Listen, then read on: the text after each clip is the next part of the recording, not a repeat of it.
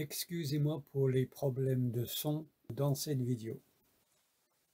Dans cette vidéo, je vais montrer que l'Ancien Testament enseigne l'idée de la Trinité.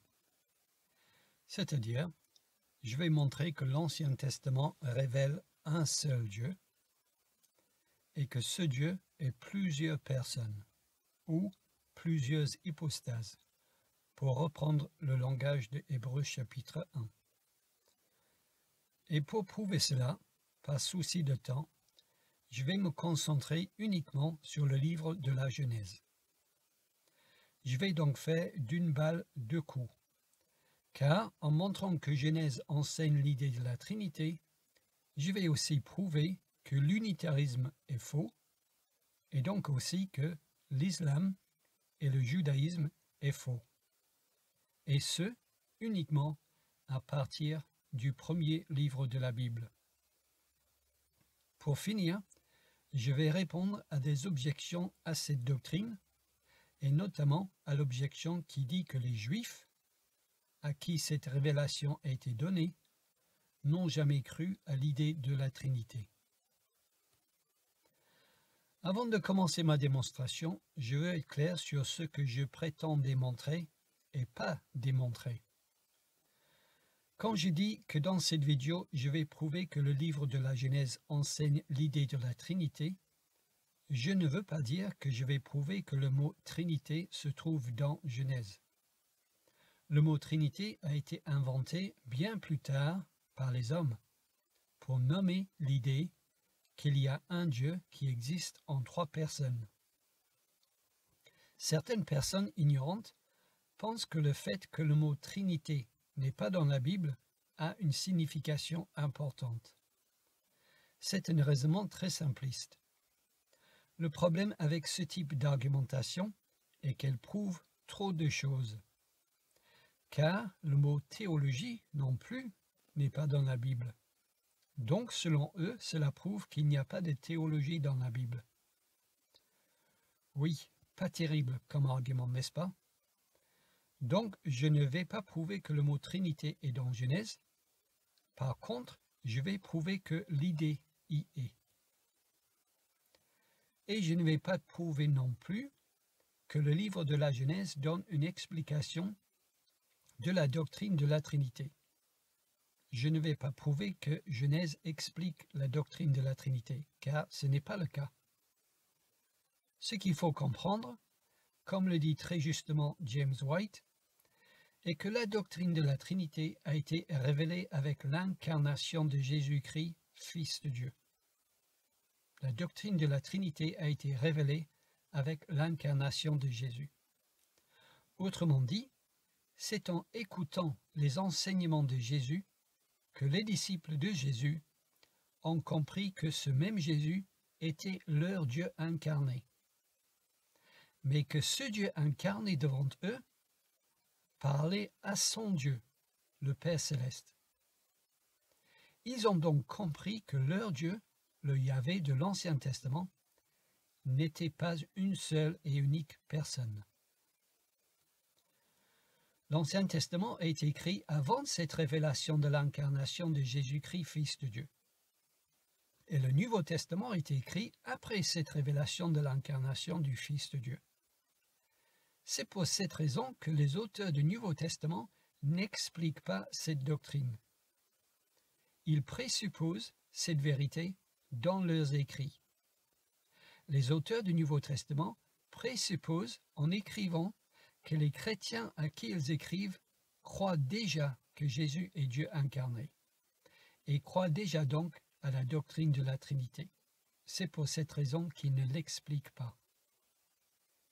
Cependant, puisque Dieu le Père savait qu'il allait envoyer son Fils pour sauver les hommes, il prépare son peuple en révélant certaines vérités le concernant dans l'Ancien Testament pour que son peuple reçoive et croit en son Fils.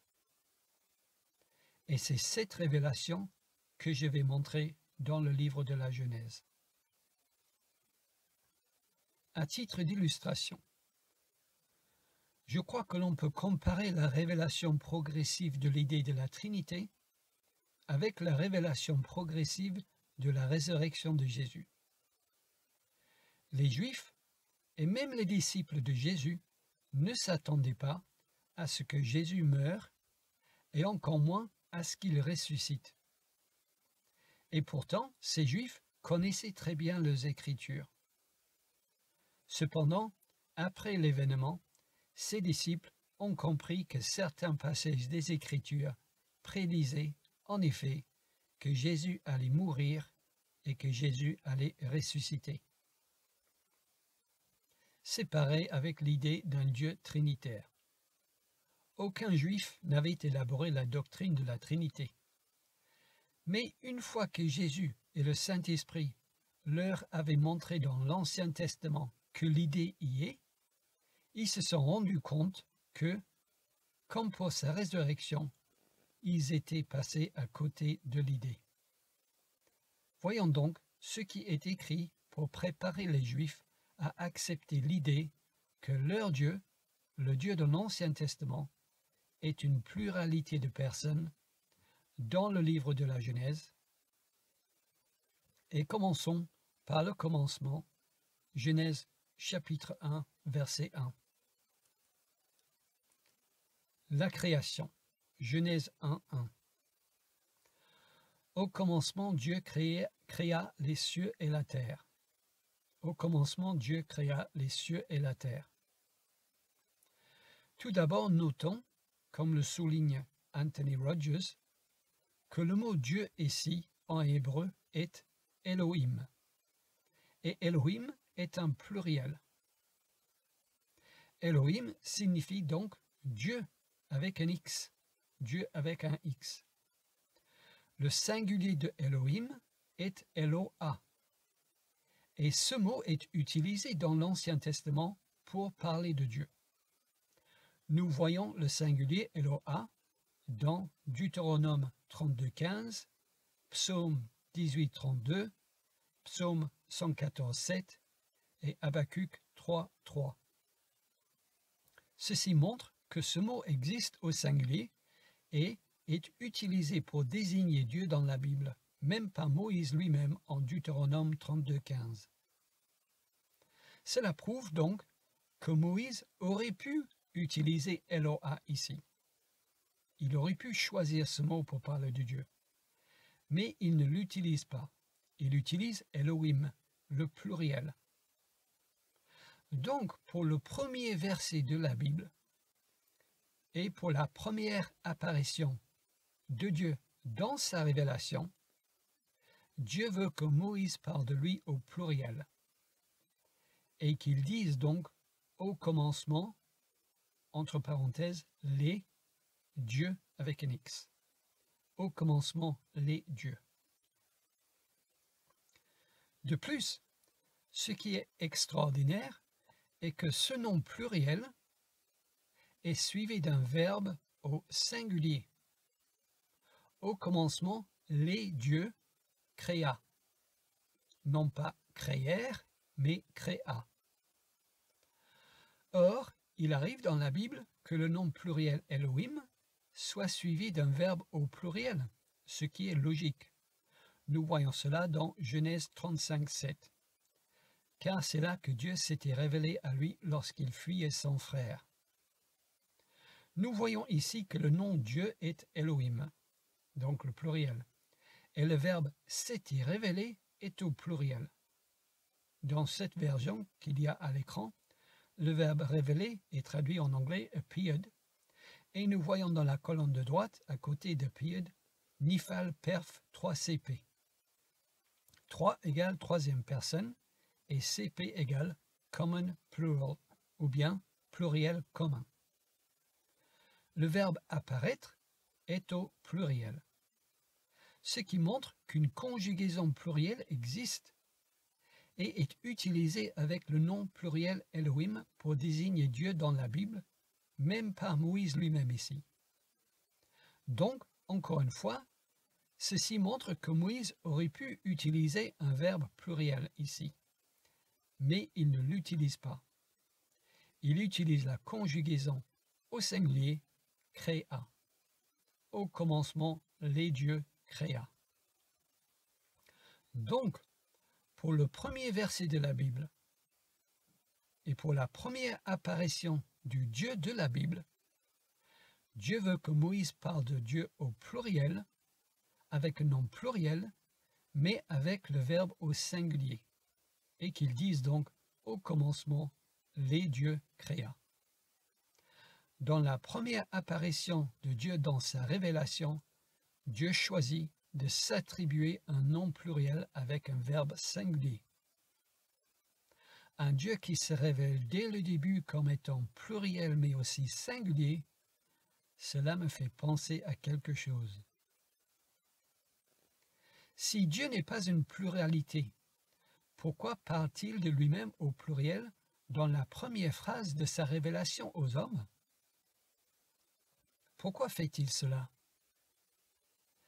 Affirmer comme certains que Dieu parle de lui-même au pluriel, même s'il n'est pas un pluriel, parce qu'il utilise ici un pluriel de majesté, est une invention sans preuve. De plus, c'est une insulte envers le Dieu de la Bible.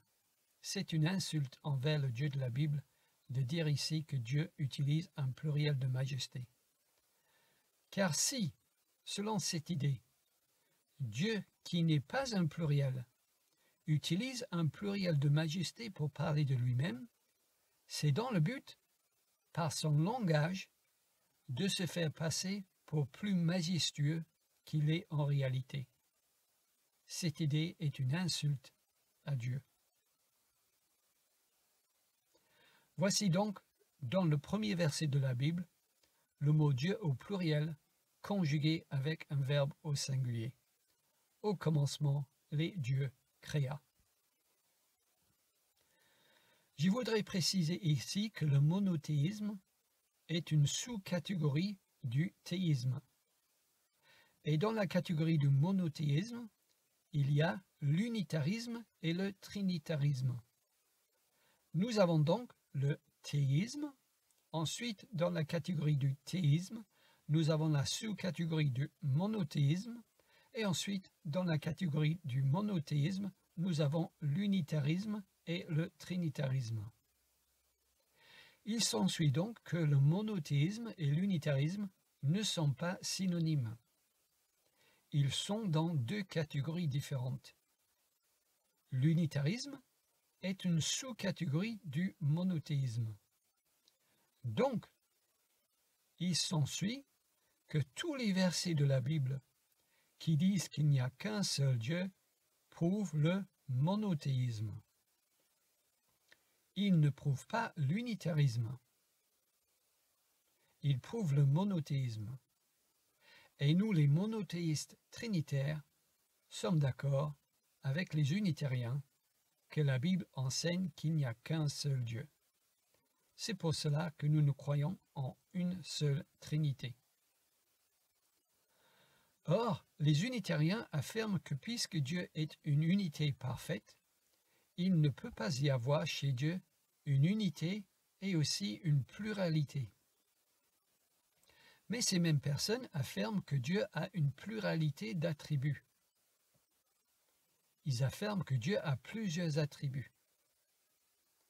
Ils affirment donc que, dans un sens, Dieu est un, dans sa nature ou dans son être, mais dans un autre sens, Dieu n'est pas un, mais une pluralité dans ses attributs. Mais ils disent aussi que ces attributs font partie de sa nature. L'ensemble de ces attributs et sa nature. Donc ils affirment que dans un sens, la nature de Dieu est une, et dans un autre sens, la nature de Dieu n'est pas une, mais une pluralité. Car personne n'argumente que Dieu n'a qu'un seul attribut, n'est-ce pas? Donc, on ne peut pas dire de Dieu qu'il n'est qu'une unité. On ne peut donc pas raisonner ainsi. La Bible dit que Dieu est un. Donc, il ne peut pas y avoir chez Dieu une pluralité de personnes. Tout comme on ne peut pas raisonner ainsi. la Bible dit que Dieu est un. Il ne peut pas y avoir donc chez Dieu une pluralité d'attributs. Si le fait que Dieu est un dans son être exclut une pluralité dans sa nature, pourquoi est-ce que le fait que Dieu est un dans son être n'exclut-il pas une pluralité dans ses attributs? Car sa nature est l'ensemble de ses attributs. Il n'est donc pas contradictoire de dire que Dieu est un dans un sens et plus qu'un dans un autre sens. En Dieu, il y a donc une unité et une pluralité. Et tous les trinitaires, unitariens, juifs et musulmans croient ceci. Car personne n'argumente que Dieu n'a qu'un seul attribut, n'est-ce pas? Je dis donc que Dieu est une unité et aussi une pluralité. Et c'est ce que la première phrase de Genèse montre. Au commencement, les dieux créa. Mais ce n'est que le début. Continuons donc. Genèse 1.1 Au commencement, Dieu créa les cieux et la terre. La terre était informe et vide. Il y avait des ténèbres à la surface de l'abîme, et l'Esprit de Dieu se mouvait au-dessus des eaux. Dieu dit que la lumière soit, et la lumière fut. Dieu créa les cieux et la terre. L'Esprit de Dieu se mouvait au-dessus des eaux. Réfléchissons un peu à ces mots, car nous savons que chaque mot vient de Dieu, n'est-ce pas? L'Esprit de Dieu. L'Esprit de Dieu. Or, Jésus nous dit que Dieu est esprit. Mais notons que la Bible n'appelle pas celui qui se mouvait au-dessus des eaux Dieu qui est esprit, ni l'esprit divin, ni l'esprit tout court. Non, la Bible introduit l'esprit en disant l'esprit de Dieu. Esprit de Dieu. Comment comprendre ce de? Esprit de Dieu Comme un possessif, l'esprit qui appartient à Dieu. Ou comme une provenance, l'esprit qui vient de Dieu. Dans tous les cas, quelle que soit l'interprétation de ce de, ce qui est clair est que selon ce texte, cet esprit et Dieu ne sont pas identiques. Si les mots ont un sens, alors l'esprit de Dieu et Dieu ne peuvent pas être identiques. Mais si Dieu est esprit, et celui qui se mouvait au-dessus des eaux l'esprit de Dieu, c'est-à-dire l'esprit qui appartient à Dieu, alors qui est ce Dieu? Si Dieu est esprit, et celui qui se mouvait au-dessus des eaux est l'Esprit de Dieu, l'Esprit qui appartient à Dieu, alors qui est ce Dieu? Pour nous les Trinitaires, la réponse est assez évidente. Ce Dieu ici est Dieu le Père.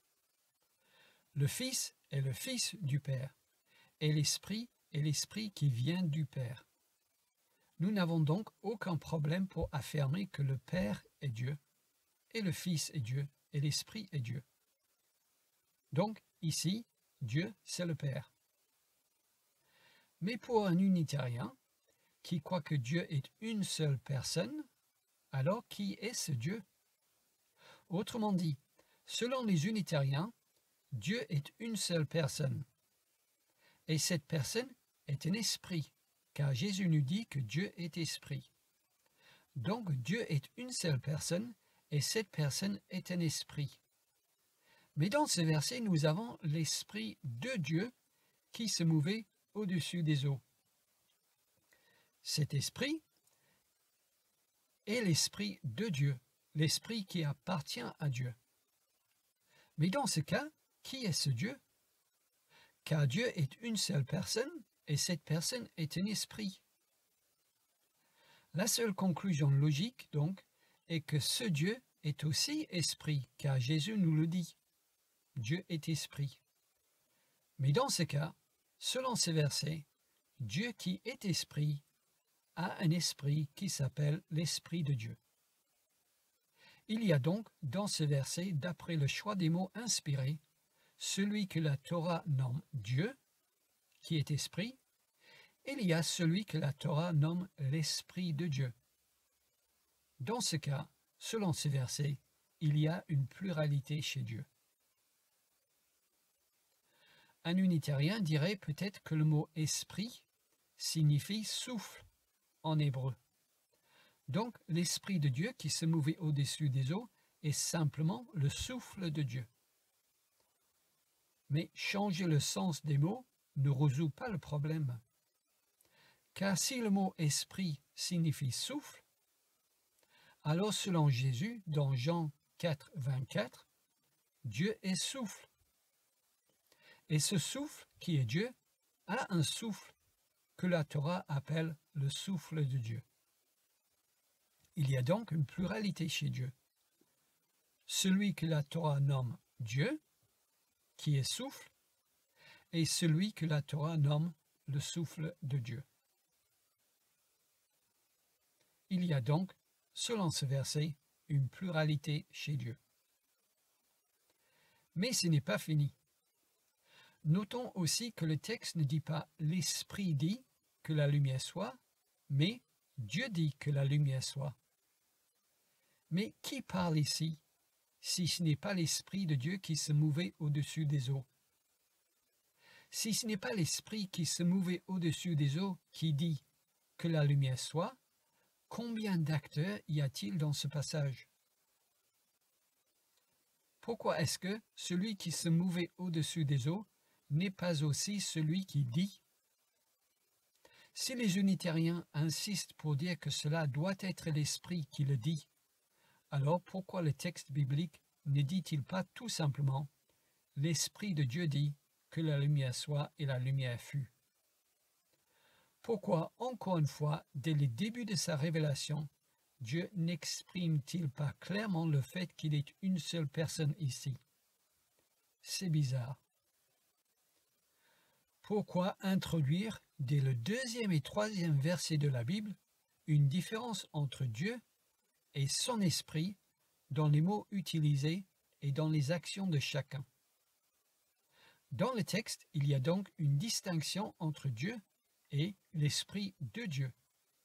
L'un se déplace au-dessus des eaux, l'autre parle. Ceci prête à confusion si Dieu et l'esprit de Dieu sont identiques, sont la même personne. Ceci soulève donc la question de l'auteur de la création. Qui a créé les cieux et la terre et tout ce qui se trouve La Bible dit, au commencement, Dieu créa les cieux et la terre. Donc la réponse à la question est que c'est Dieu qui a créé les cieux et la terre et tout ce qui se trouve. Mais la Bible dit aussi que c'est l'Esprit de Dieu qui a créé les animaux. Psaume 104, à partir du verset 27, dit Tous ces animaux espèrent en toi, que tu leur donnes la nourriture en son temps. Tu la leur donnes et ils, la recueillent. Tu ouvres ta main, ils se rassaisissent de bien. Tu caches ta face, ils sont tremblants. Tu leur retires le souffle, ils expirent et retournent dans la poussière. Tu envoies ton souffle, ils sont créés, et tu renouvelles la face de la terre. Ici, en effet, le mot traduit souffle est le même mot que le mot pour esprit, comme le montre la Bible semeur. Donc, si c'est Dieu qui a créé les cieux et la terre et tout ce qui se trouve, alors, selon Psaume 104, l'Esprit est le Dieu créateur que nous voyons ici. Au commencement, Dieu créait les cieux et la terre. Le créateur de tout est donc l'Esprit de Dieu, selon Psaume 104. Mais la Bible dit aussi que c'est la parole de l'Éternel qui a créé les cieux. Psaume 33, 6. Les cieux ont été faits par la parole de l'Éternel. Donc, si c'est Dieu qui a créé les cieux et la terre et tout ce qui se trouve, alors Selon Psaume 33, la parole de l'Éternel est le Dieu créateur que nous voyons ici. Au commencement, Dieu créa les cieux et la terre. Le créateur de tout est donc la parole de l'Éternel. Selon la Bible donc, Dieu crée, l'Esprit de Dieu crée et la parole de Dieu crée. Donc, dans les tout premiers versets de la Bible, nous avons un Dieu au pluriel, avec un verbe au singulier. Nous avons aussi Dieu qui crée, nous avons l'Esprit de Dieu qui crée, et nous avons la parole de Dieu qui crée. Et nous savons que, au commencement, Dieu créa les cieux et la terre. Genèse 1, 26 Création de l'homme Puis Dieu dit, Faisons l'homme à notre image, selon notre ressemblance. En hébreu, comme le souligne Anthony Rogers, le verbe faire est conjugué à la première personne du pluriel, comme traduit ici faisant. Notons donc que Dieu ne dit pas je fais l'homme, ni je ferai l'homme. Non, il dit faisons l'homme. Le choix des mots est extrêmement intéressant ici. Dieu utilise la première personne du pluriel, faisons. Nous avons donc, dans ce passage, Dieu qui parle et qui utilise un verbe au pluriel pour parler de lui-même. On peut penser que c'est parce que Dieu veut communiquer qu'il y a une pluralité de personnes qui créent. Notons que la personne qui s'exprime ici parle à d'autres créateurs, faisons l'homme. Il parle à d'autres personnes et il les invite à créer avec lui un homme. Faisons l'homme. Nous avons donc, dans ce passage, un créateur qui s'exprime et qui parle aux autres créateurs, car il les invite à créer avec lui. Il y a donc plusieurs créateurs ici. Sauf que nous avons déjà vu que, au commencement, Dieu créa les cieux et la terre. Il en résulte donc que ceux qui créent ici sont Dieu. Ce qui donne 1. Il y a plusieurs créateurs de l'homme. Genèse 1, 26. 2. Dieu créa l'homme. Genèse 1, 1. Donc, ces plusieurs créateurs sont Dieu. Mais qui sont ces créateurs? Eh bien, nous avons déjà vu que l'Esprit de Dieu est un créateur. Au commencement, Dieu créa les cieux et la terre, et l'Esprit de Dieu se mouvait au-dessus des eaux. Et nous avons déjà vu que la parole de Dieu est créateur. Dieu dit que la lumière soit et la lumière fut. Mais ce n'est pas fini. Ce passage n'enseigne pas le polythéisme, car il n'est pas écrit « faisons l'homme » à nos images, et il n'est pas écrit non plus « faisons l'homme à mon image ». Il est écrit « faisons l'homme à notre image ». Le choix des mots est extrêmement intéressant ici. Il y a donc qu'une seule image.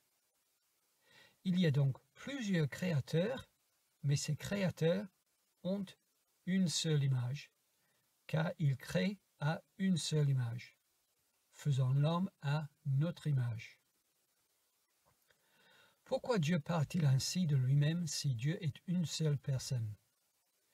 Quel sens ont ces mots faisant et notre si Dieu n'est pas plusieurs personnes?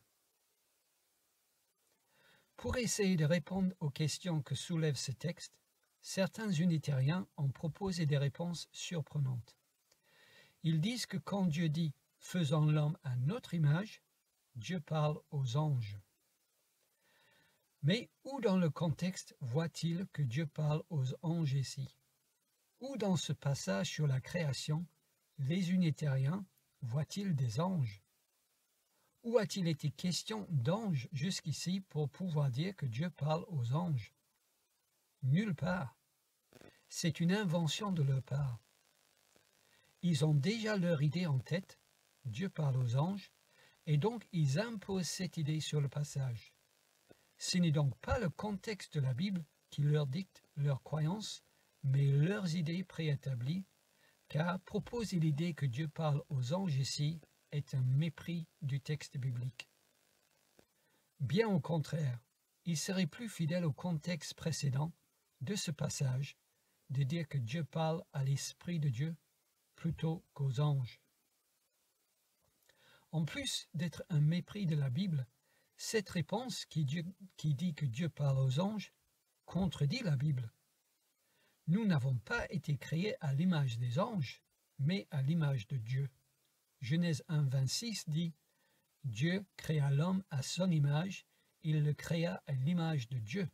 Il créa l'homme et la femme. Dieu ne peut donc pas parler aux anges ici quand il dit faisons l'homme à notre image, car l'homme a été créé à l'image de Dieu. Certains unitariens sont prêts à dire vraiment n'importe quoi pour rejeter l'idée d'une pluralité chez Dieu. Car ici, il s'agit de la création de l'homme. Les anges n'ont pas participé à la création de l'homme. Dieu seul a créé les cieux et la terre et tout ce qui se trouve. Les anges n'ont rien créé. Affirmer que Dieu parle aux anges et que l'homme a été créé par et à l'image de Dieu et des anges est un mépris du contexte biblique et un refus fondamental du monothéisme biblique par ces unitariens qui se revendiquent avant tout d'être monothéistes. Car si le premier chapitre de Genèse nous enseigne quelque chose, c'est que seul le Créateur crée. Aucune créature ne crée. Dieu seul est le créateur de toutes choses. Donc, seul Dieu crée. Si on dit que les anges ont créé, même si on les appelle des anges, c'est quand même une promotion de l'idée de polythéisme. Car selon la Bible, seul Dieu est créateur. Au commencement, Dieu créa les cieux et la terre. Et aussi, ainsi par l'Éternel ton Rédempteur, celui qui t'a formé dès, ta naissance. Moi, l'Éternel, j'ai fait toutes choses. Seul j'ai déployé les cieux, seul j'ai étendu la terre. Ésaïe 44, 24. Donc, ceux qui disent que Dieu parle aux anges ici, dit par implication que les anges créent aussi, ce qui implique que les anges sont aussi des dieux car seul Dieu crée. Non, ce faisant, dans faisant l'homme à notre image, ce faisant ne fait pas référence aux anges, mais fait référence aux personnes divines actives dans la création. Dieu seul crée et il y a plusieurs créateurs.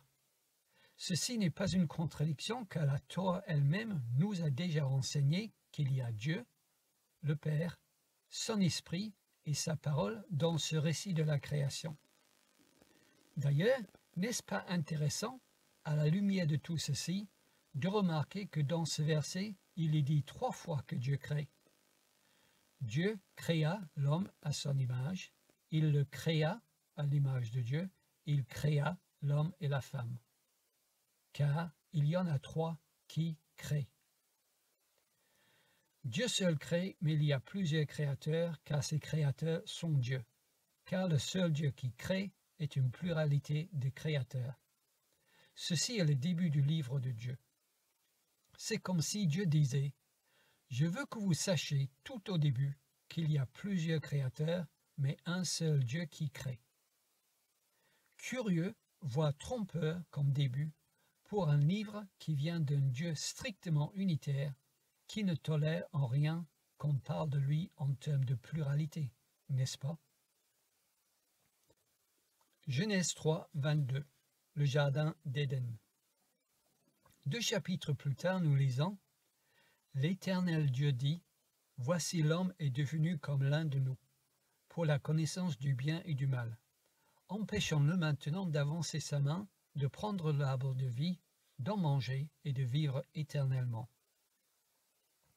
Attention, chaque mot est important car Dieu a inspiré chaque mot, n'est-ce pas? Dieu ne dit pas « l'homme est devenu comme moi », comme on s'attendrait si les unitariens ont raison et Dieu est une seule personne? Et Dieu ne dit pas non plus l'homme est devenu comme nous, qui laisserait comprendre du polythéisme. Mais Dieu dit l'homme est devenu comme l'un de nous. L'un de nous. C'est un partitif. Un de nous. Encore une fois, cela sujet une pluralité de personnes dans une unité. Un de nous. Et cela continue. Si Dieu est une seule personne, pourquoi Dieu ne dit-il pas Je l'empêcherai maintenant d'avancer sa main Non, il dit Empêchons-le maintenant d'avancer sa main. Encore l'utilisation de la première personne du pluriel. Dieu parle à quelqu'un qui va collaborer avec lui. Empêchons-le maintenant. Cela devient une tendance dans ce récit de la Genèse. À qui parle Dieu ici quand il dit empêchons-le Je crois que le contexte nous renseigne, car Dieu veut empêcher Adam de manger le fruit de vie, car Adam a péché, et en effet, le contexte nous le montre. Dans le même chapitre, au verset 8, nous voyons que quelqu'un vient vers Adam et Ève dans le jardin pour les trouver juste après leur péché et ils se cachent. Alors ils entendirent la voix de l'Éternel Dieu qui parcourait le jardin vers le soir. Et l'homme et sa femme se cachèrent loin de la face de l'Éternel Dieu, au milieu des arbres du jardin. Attention, chaque mot est important car Dieu a inspiré chaque mot, n'est-ce pas? Or, il faut savoir que le qui, ici, qui parcourait le jardin peut avoir comme antécédent soit le mot éternel, soit le mot voix. On pourrait traduire la voix de l'éternel Dieu qui parcourait le jardin, ou encore la voix de l'éternel Dieu laquelle parcourait le jardin. D'ailleurs, la version second 21 et la version semeur rend la traduction plus proche de ce sens car elles traduisent ce verset ainsi. Second 21. Quand ils entendirent la voix de l'Éternel Dieu en train de parcourir le jardin vers le soir. Et semeur, version semeur, au moment de la brise du soir, ils entendirent la voix de l'Éternel Dieu parcourant le jardin. J'attire votre attention sur le fait que dans aucune de ces trois versions françaises, ce verset ne dit au moment de la brise du soir, ils entendirent l'Éternel Dieu parcourant le jardin. À aucun moment c'est marqué, dans le texte français ou dans le texte hébreu, qu'ils entendirent l'Éternel Dieu qui parcourait le jardin. Non, ce verset dit, au moment de la brise du soir, ils entendirent la voix de l'Éternel Dieu parcourant le jardin. Autrement dit, on peut comprendre en lisant l'hébreu et le français que c'est la voix de l'Éternel qui parcourait le jardin. Au moment de la brise du soir, ils entendirent la voix de l'Éternel Dieu parcourant le jardin. Oui, il est légitime de comprendre en lisant l'hébreu et le français que c'est la voix de l'Éternel qui parcourait le jardin. Mais cela ressemble à quoi? Une voie qui parcourt le jardin. Cela ressemble à quoi? Une voie qui marche dans un jardin. Vous me direz peut-être que j'exagère et que je lis trop de choses dans ce passage. Un unitarien argumenterait sans doute que quand Genèse 3.22 dit « Alors ils entendirent la voix de l'Éternel Dieu qui parcourait le jardin vers le soir », Adam et Ève ont entendu la voix de l'Éternel et que c'est l'Éternel qui parcourait le jardin. C'est simple.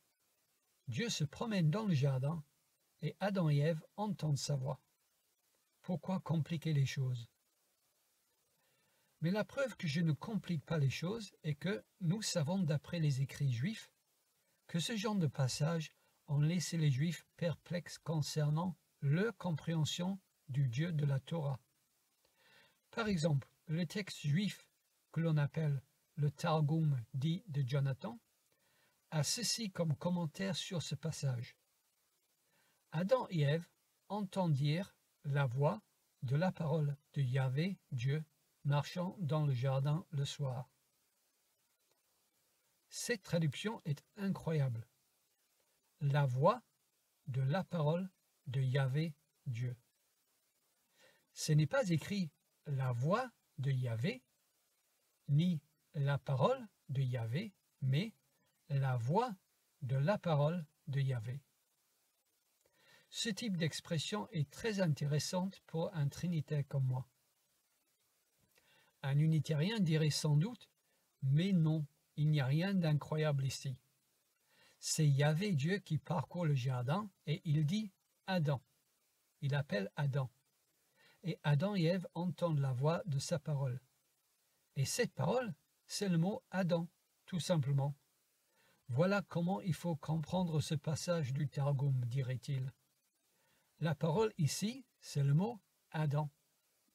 Dieu parcourt le jardin, Dieu dit Adam, et Adam et Ève entendirent la voix de la parole de Yahvé, Dieu, marchant dans le jardin le soir. Je réponds que si la parole ici est le mot Adam, alors ce mot n'a pas de voix. Ce mot n'a pas de voix. La parole Adam n'a pas de voix. Un mot n'a pas de voix. Un mot ne peut pas parler. Cette interprétation n'a pas de sens. L'unitarien dirait peut-être oui, mais le mot hébreu pour voix signifie aussi son, un son. Donc, on peut traduire ce passage du Targum Adam et Ève entendirent le son de la parole de Yahvé Dieu marchant dans le jardin le soir. Je réponds, mais si la parole ici est le mot Adam, alors le son est la parole. Le son est la parole. Le son et la parole sont identiques dans ce cas.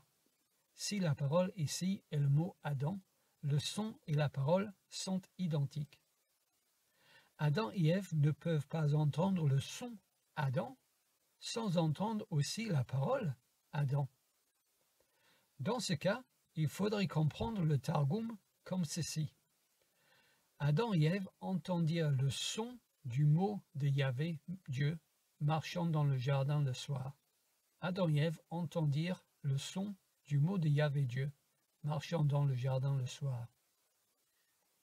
Dans ce cas, si c'est ceci le sens du Targum, alors je demande à nos amis unitariens de dire le son du mot Adam sans dire le mot Adam. Je leur demande de dire le son du mot Adam sans dire le mot Adam. Non, cette interprétation non plus n'a pas de sens. Soyons sérieux. Premièrement, on remarque que selon le Targum, ce n'est pas l'Éternel qui parcourt le jardin, c'est sa parole. Donc, selon le Targum, la parole de Yahvé Dieu parcourt le jardin. La parole appelle Adam. Adam et Ève entendent sa voix. Adam et Ève entendirent la voix de la parole de Yahvé Dieu marchant dans le jardin le soir. Ce qui soulève toujours la même question, à savoir, cela ressemble à quoi Une parole qui parcourt le jardin? Nous les Trinitaires, nous avons une petite idée. Mais j'aimerais bien qu'un unitarien nous explique à quoi ressemble une parole qui se promène. Deuxièmement, selon ce Targum, Adam et Ève entendirent la voix de la parole de Yahvé Dieu. Nous avons deux possessifs dans cette traduction la voix de la parole de Yahvé Dieu. La voix de la parole de Yahvé Dieu. Nous avons donc Dieu, Yahvé Dieu. Après, nous avons la parole de Yahvé Dieu. Et ensuite, nous avons la voix de la parole de Yahvé Dieu. Clairement, pour ces Juifs, Adam et Ève entendent la voix de la parole de Yahvé Dieu. Donc, clairement, pour ces Juifs, ce n'est pas Yahvé qui parcourt le jardin, mais c'est la parole de Yahvé qui parcourt le jardin, dont ils entendent la voix. Donc, quand nous lisons dans Genèse, dans le texte hébreu inspiré, alors ils entendirent la voix de l'Éternel Dieu qui parcourait le jardin vers le soir, ce n'est pas compliqué les choses d'affirmer, comme je le fais, que ce passage nous enseigne que ce n'est pas l'Éternel qui parcourait le jardin. Ce n'est pas compliqué les choses d'affirmer comme je le fais que ce n'est pas l'Éternel qui parcourt le jardin. Au contraire, c'est tout à fait une compréhension juive d'affirmer que ce n'est pas l'Éternel qui parcourait le jardin, mais que c'est la voix de l'Éternel qui parcourait le jardin. Donc non, je ne complique pas les choses dans ce passage, pas plus que les Juifs qui ont écrit ce Targum en tout cas. Mais j'en dirai davantage sur les Targums plus tard. Donc, dans les trois premiers chapitres du livre de la Genèse, nous voyons Dieu, l'Esprit de Dieu et la parole de Dieu, tous créateurs. Nous voyons Dieu qui parle de lui-même au pluriel, et nous voyons la parole de Dieu qui se promène sur terre. Il y a clairement ici un début d'idée de la Trinité. Toutes ces données sont incompatibles avec l'affirmation des unitariens que Dieu veut nous communiquer dans ces premiers chapitres de sa révélation qu'il est une seule personne.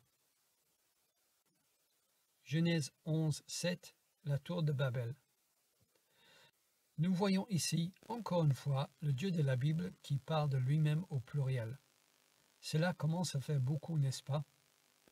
Il est écrit Ils se dirent l'un à l'autre Allons, faisons des briques et cuisons-les au four.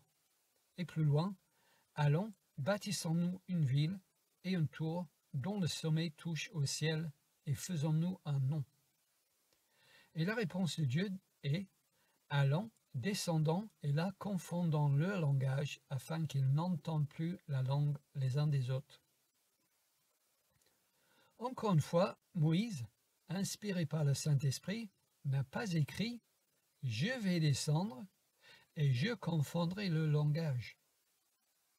Mais Moïse fait dire à Dieu Allons, descendons et là confondons le langage. Ce type de phrase prête à confusion si Dieu est une seule personne. Pas du tout si Dieu est une trinité. Dans ce passage, il y a clairement une technique littéraire d'un écho. Les hommes parlent et Dieu répond.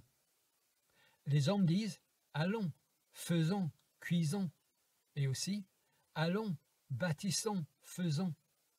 Et Dieu répond Allons, descendons, confondons.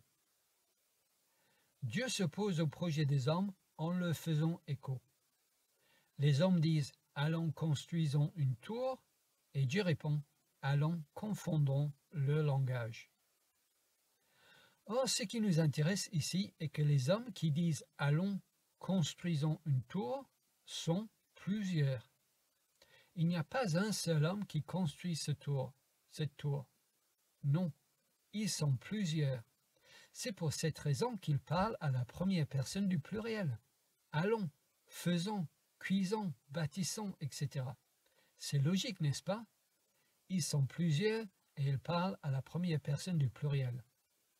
Puisque ceci est vrai, pourquoi est-ce que Dieu répond Allons, descendons, confondons le, langage.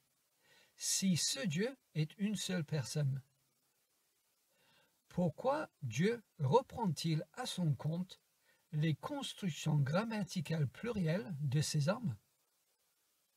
Bref, pourquoi Dieu parle-t-il à la première personne du pluriel si Dieu n'est pas un pluriel Ça prête à confusion si Dieu n'est qu'une seule personne. Dieu ne communique pas très clairement son unité ici. Par contre, si Dieu aussi est une pluralité, son utilisation de la même forme grammaticale plurielle de ces hommes est tout à fait cohérente. Genèse 18 et 19 l'histoire de Sodome. Un autre passage dans Genèse où nous voyons une pluralité évidente chez Dieu est l'histoire de Sodome et de Gomorre dans Genèse 18 et 19. Ce passage est exceptionnel. Dans Genèse chapitre 18, trois hommes rendent visite à Abraham. Il paraît clair plus tard que deux des hommes sont des anges. Car dans Genèse 19, verset 1, nous lisons Les deux anges arrivèrent à Sodome sur le soir. Mais il paraît aussi clair qu'un de ces trois hommes est Dieu lui-même, l'Éternel. Car nous lisons dans Genèse 18 ceci. L'Éternel, lui, lui ici c'est Abraham, l'Éternel lui apparut parmi les chaînes de Mamré, comme il était assis à l'entrée de sa tente pendant la chaleur du jour. Il leva les yeux et regarda, et voici, trois hommes étaient debout près de lui. Ensuite, nous lisons verset 10. L'un d'entre eux dit, Je reviendrai vers toi à cette même époque, et voici Sarah ta femme aura un fils. Sarah écoutait à l'entrée de la tente qui était derrière lui. Et au verset 13, nous lisons, L'Éternel dit à Abraham, Pourquoi donc Sarah a-t-elle ri en disant, Est-ce que c'est vraiment que j'aurai un enfant, moi qui suis vieille Le un d'entre eux un des trois hommes donc, le un d'entre eux du verset 10 et l'Éternel du verset 13. Un de ces trois hommes est donc l'Éternel. Donc en prenant ce passage dans son contexte, nous pouvons dire que trois hommes arrivent chez Abraham, deux des hommes sont des anges et un des hommes est l'Éternel sur terre. Oui, l'Éternel sur terre. Ensuite, quand Abraham intercède pour Sodome, à partir du verset 17, il est question uniquement de l'Éternel. L'individu à qui Abraham parle est clairement l'Éternel. Et l'Éternel à qui Abraham parle est clairement une personne, car Abraham discute avec lui comme on discute avec une personne humaine. Il apparaît pour Abraham comme un homme. L'Éternel lui apparut parmi les chaînes de Mamré. Il leva les yeux et regarda, et voici, trois hommes étaient debout près de lui. Tout d'abord, ceci prouve que l'Éternel, le Dieu de la Bible, peut entrer dans sa création et peut prendre la forme d'une créature, en l'occurrence un homme, s'il le veut. Donc, L'objection musulmane qui dit que Dieu ne peut pas entrer dans sa création et interagir avec elle est réfutée déjà dans le premier livre de la Bible. C'est la Torah que le Coran affirme qui montre que Dieu peut, si ça lui plaît, prendre une forme humaine pour venir sur la terre et interagir avec ses créatures. D'ailleurs, l'idée est logique. Qui bâtit une maison dans laquelle il ne peut pas y entrer, à part Allah. L'idée paraît absurde. Pourquoi Dieu créerait-il un monde qui lui serait interdit? Et interdit par qui? Qui est l'être qui interdit à Dieu d'entrer dans sa création si ça lui plaît? Ou interdit par quoi? Quels paramètres rend-il impossible pour Dieu d'interagir avec ces créatures en forme humaine s'il le veut. Et qui lui a imposé ces paramètres? Non, Dieu peut, s'il veut, entrer dans sa propre création, car rien n'est impossible pour Dieu. En tout cas, pas pour le Dieu de la Bible. Ce qui est grandiose ici est que Dieu, à travers Moïse, prépare les Juifs pour accepter l'idée de l'incarnation du Fils de Dieu. Cette idée époustouflante que Dieu, le Créateur de l'univers, viendra sur terre en forme humaine. Donc, dans ce passage de la Torah, Dieu vient sur terre et il parle à Abraham. Il vient pour lui annoncer qu'il va avoir un fils et qu'il va juger Sodome. Ensuite, les deux anges partent et vont dans la ville de Sodome. Mais l'Éternel reste et parle avec Abraham. Ensuite, l'Éternel aussi quitte Abraham et va à Sodome pour juger la ville. Entre deux, nous avons l'histoire de Lot dans la ville de Sodome avec les deux anges, Genèse 19, versets 1 à 23. Ensuite, dans Genèse 19, verset 24, nous voyons que l'Éternel est arrivé à Sodome. Nous avons donc Dieu sur terre à Sodome. Mais, comme le souligne Anthony Rogers, le passage dit quelque chose d'incroyable. Alors l'Éternel fit pleuvoir du ciel sur Sodome et sur Gomorre du soufre et du feu de par l'Éternel. La version second 21 dit Alors l'Éternel fit pleuvoir du soufre et du feu sur Sodome et sur Gomorre. Cela venait du ciel de la part de l'Éternel. Et la version Semeur dit Alors l'Éternel fit tomber sur Sodome et sur Gomorre une pluie de soufre enflammée par un feu qui venait du ciel de l'Éternel. Ici, la grammaire et la syntaxe hébreu indiquent clairement une distinction entre le sujet et l'objet. L'Éternel fit pleuvoir de la part de l'Éternel. Dans ce verset de la Torah, deux agents portent le nom divin éternel. Deux agents portent le nom divin éternel.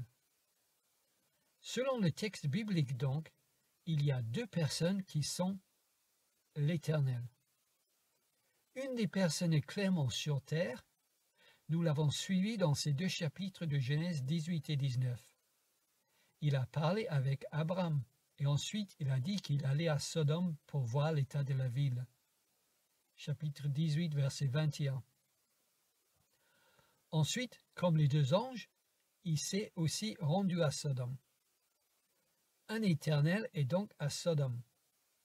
Alors l'Éternel fit pleuvoir du ciel sur Sodome et sur Gomorre du soufre et du feu. Mais lui a fait pleuvoir le feu de la part de l'Éternel. La préposition de part ou de la part de est claire et ne peut pas être minimisée. Selon le texte donc, ce deuxième éternel est au ciel. Cela venait du ciel de la part de l'Éternel. Un éternel sur terre commande le feu qui vient de l'autre éternel au ciel. Attention, dans le texte, les deux personnes sont appelées éternelles. Oui, dans le texte hébreu, il y a deux personnes dans ce passage qui sont appelées éternelles. Donc, dans le texte hébreu, il y a deux personnes qui sont appelées Yahvé ici. Ceci est incroyable. Nous avons deux personnes qui sont Yahvé. Une sur terre en forme humaine à côté de Sodome et l'autre au ciel. Réfléchissons à ce que nous voyons ici dans la Torah. C'est tout à fait étonnant. Pour un unitarien, c'est incompréhensible. Je vais le redire pour que l'idée pénètre dans vos pensées. Dans ce passage de la Torah, nous voyons donc un. Il y avait au ciel et il y avait sur terre en même temps. 2. Le Yahvé qui est au ciel et le Yahvé qui est sur terre interagissent l'un avec l'autre. 3. Le Yahvé qui est sur terre est un homme. 4. Le Yahvé qui est au ciel n'est pas un homme. Ce n'est donc pas la même personne. 5. Le texte inspiré désigne le Yahvé qui est au ciel et le Yahvé qui est sur terre comme étant tous les deux Yahvé. 6. Selon la Torah donc, au moins deux personnes différentes sont Yahvé.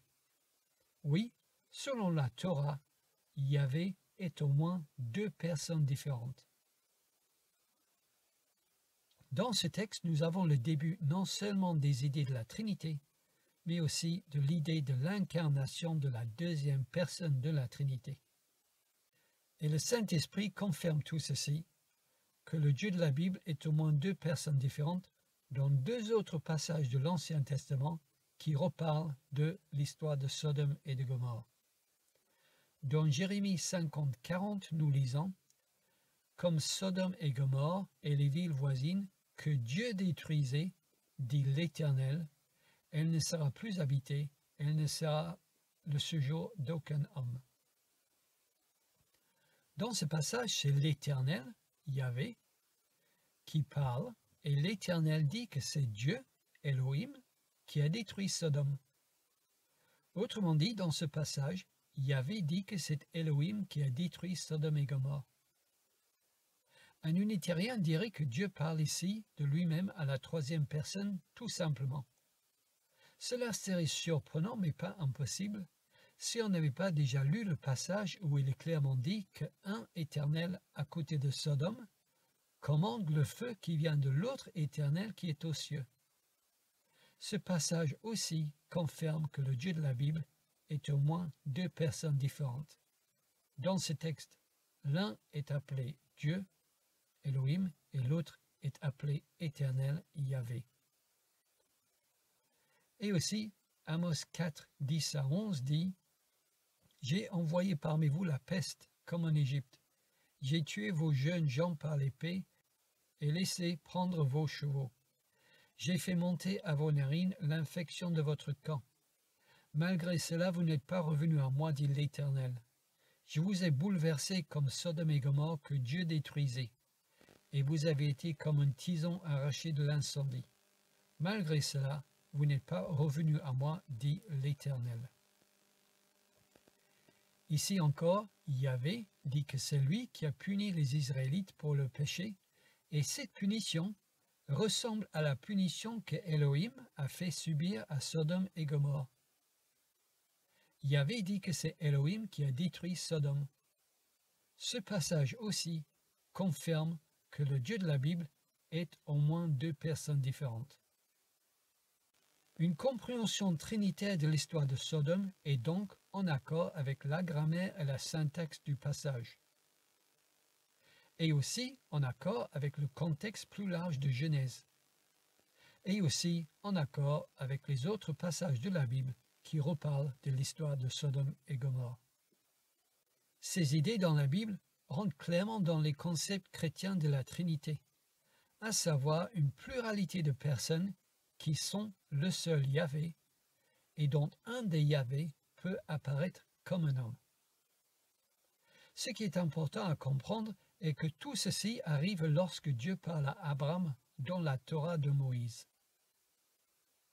Or, les Juifs et les musulmans, ces unitariens donc, mettent beaucoup d'importance sur la personne d'Abraham. Abraham est très important dans le judaïsme et dans l'islam. Et nous voyons l'Éternel sur terre en forme humaine parler à ce même Abraham. Donc, l'Éternel sur terre en forme humaine discutant avec les hommes et la religion d'Abraham. L'Éternel sur terre, en forme humaine, discutant avec les gens, et la religion d'Abraham. Et ces paroles sont racontées dans la Torah par Moïse. Donc, un Éternel, en forme humaine, sur la terre, et un autre Éternel au ciel, et donc la religion de Moïse. Oui, mes amis les unitariens, que vous le vouliez ou pas, dans la religion d'Abraham et dans la religion de Moïse, il y a au moins deux personnes qui sont Yahvé. Et l'un de ces deux Yahvé est un homme. Et je le redis, ceci est la religion d'Abraham et la religion de Moïse. Genèse 20, 13 L'appel d'Abraham. Un autre passage qui montre que Dieu n'est pas une unité est Genèse 20, 13. Là, nous voyons Abraham raconter l'appel de Dieu sur sa vie. Ceci aussi est un passage important car l'appel d'Abraham est le début de l'activation du plan de salut et donc le début de la nation d'Israël. Abraham dit Lorsque Dieu me fit errer loin de la maison de mon père. En réalité, comme le souligne Anthony Rogers, en hébreu, le verbe traduit fi dans fi eré est au pluriel. Nous le voyons ici. Elohim signifie God, donc Dieu en français. Cause to wonder, c'est le verbe fit eré. Et ici nous avons Hilif Perf 3CP. 3CP égale troisième personne common plural, donc pluriel commun. Abraham dit donc en réalité Lorsque Dieu me firent errer loin de la maison de mon Père. Au présent, cela donnerait lorsque Dieu me font errer. Lorsque Dieu me font errer loin de la maison de mon Père. On pourrait croire qu'Abraham ou Moïse fait une faute grammaticale ici. Sauf que nous avons déjà vu que Moïse utilise parfois un verbe au singulier pour parler de Dieu. Il connaît donc la bonne conjugaison. De plus, nous croyons que ces mots sont inspirés de Dieu, n'est-ce pas? Je pense que Dieu connaît la différence entre un verbe conjugué au singulier et au pluriel. Alors pourquoi Dieu inspire-t-il un verbe à la troisième personne du pluriel pour parler de lui-même? Pourquoi Abraham utilise-t-il un verbe au pluriel pour parler de son Dieu qu'il a fait quitter sa patrie? La raison est illogique si Abraham croit que son Dieu est une seule personne. Mais la raison est logique si Abraham croit que son Dieu est une pluralité. Utiliser un verbe au pluriel pour parler de son Dieu est aussi la religion d'Abraham. Genèse chapitre 28 au chapitre 35, l'histoire de Jacob. Dans Genèse chapitre 28, Jacob rencontre Dieu dans un rêve. Ce passage aussi est très important pour le fondement de la nation d'Israël. Jacob partit de Beersheba et s'en alla à Charan. Il arriva dans un lieu où il passa la nuit, car le soleil était couché. Il y prit une pierre dont il fit son chevet et se coucha dans ce lieu-là. Il eut un songe et voici une échelle était appuyée sur la terre, et son sommet touchait, au ciel. Et voici les anges de Dieu montaient et descendaient par cette échelle. Dans verset 13, Dieu se révèle à Jacob comme l'Éternel, le Dieu de ses pères. Et voici l'Éternel se tenait au-dessus d'elle, et il dit, Je suis l'Éternel, le Dieu d'Abraham ton père, et le Dieu d'Isaac. La terre sur laquelle tu es couché, je la donnerai à toi et à ta postérité. Ensuite, Dieu fait des promesses à Jacob, y compris la promesse d'être toujours avec lui où qu'il aille. Et Jacob répond ainsi. Jacob s'éveilla de son sommeil et il dit, Certainement l'Éternel est en ce lieu, et moi je ne le savais pas. Il eut peur et il dit, Que ce lieu est redoutable, c'est ici la maison de Dieu, c'est ici la porte des cieux. Et Jacob se levait de bon matin, il prit la pierre dont il avait fait son chevet, il l'adressait pour monument, et il versa de l'huile sur son sommet. Et il donna à ce lieu le nom, de Bethel, mais la ville s'appelait auparavant Luz. Jacob fit un vœu en disant, Si Dieu est avec moi, et me garde pendant ce voyage que je fais, s'il me donne du pain à manger et des habits pour me vêtir, et si je retourne en paix à la maison de mon père, alors l'Éternel sera mon Dieu. Cette pierre que j'ai dressée pour monument sera la maison de Dieu. Et je te donnerai la dîme de tout ce que tu me donneras. Plusieurs fois ici, nous lisons que c'est l'Éternel ou Dieu que Jacob a rencontré dans son rêve. Les mots sont clairement interchangeables. L'Éternel ou Yahvé est le nom de Dieu. Et puisque c'est Dieu qui est apparu à Jacob, Jacob a fait un vœu et a renommé ce lieu Bethel qui signifie la maison de Dieu. Donc, la personne que Jacob a vue dans un rêve à Bethel est Yahvé, le Dieu d'Abraham. Gardons cela à l'esprit. Ensuite, l'histoire continue et dans Genèse 31, verset 11, on lit Et l'ange de Dieu me dit en songe, Jacob, je redis, me voici. Dans ce passage, celui qui parle est l'ange de Dieu. Cependant, dans verset 13, l'ange de Dieu se révèle ainsi. Je suis le Dieu de Bethel, où tu as roi un monument, où tu, as, où tu m'as fait un vœu. Maintenant lève-toi, sors de ce pays et retourne au pays de ta naissance. Donc, l'ange de Dieu de Genèse 31, 11 s'identifie comme le Dieu de Bethel que Jacob a vu dans son songe de Genèse 28, 13. Mais Jacob dit que dans son songe, il a vu l'éternel Dieu. Nous avons donc ici un ange qui s'identifie comme l'éternel Dieu, le Dieu de Bethel.